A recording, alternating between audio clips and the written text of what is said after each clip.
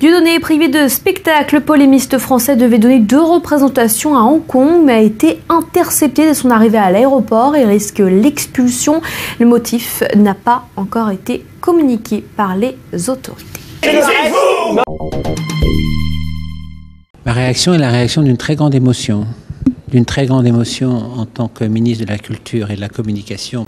Je soutiens totalement. C'est une histoire à, dormir debout. C'est une histoire euh, surréaliste. C'est un acharnement, euh, un sort de lynchage juridictionnel. Moi, je suis révolté, indigné, scandalisé. Et je le dis, il ne faut pas laisser faire.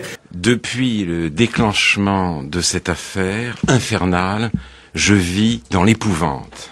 La France est en proie à une véritable fureur de la persécution. On éprouve un sentiment aussi d'irrationnel, parce que en vérité, euh, on sait très bien comment les choses se sont mises en place.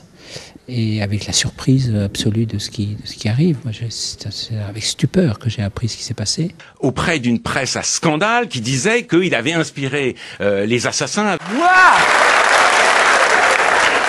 Dieudo le rigolo Pèlerin de la farce et du bon mot, hein?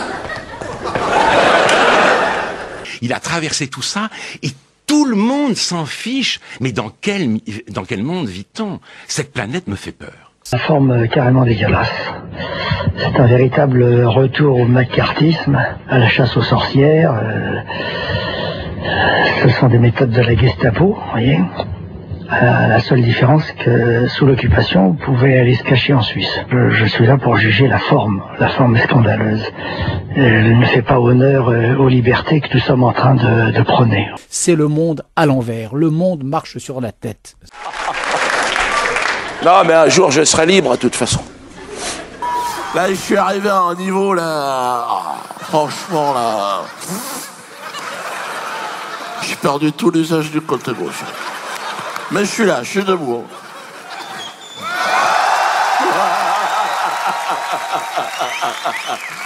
Alors non, là, ils sont. selon certains médias, je serais même un genre d'antéchrist. Ils vont chercher ça, les gars. Ah, diable donné, ils m'ont baptisé. Ah, il y a un jeu de mots, les gars, essayent de faire marrer. Bon. L'antéchrist, alors pas l'antéchrist en personne, j'imagine, mais un genre de représentant qu'il a pour la banlieue parisienne.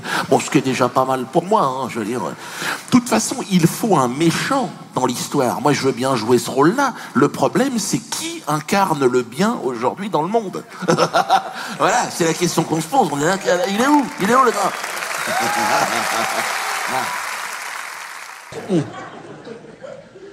Aimez-vous les uns les autres.